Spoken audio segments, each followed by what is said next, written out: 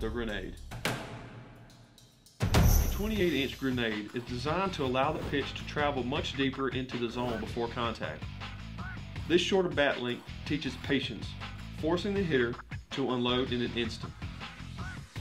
Having quick hands and staying inside the ball are a must for generating the most speed and power, resulting in a compact and explosive swing.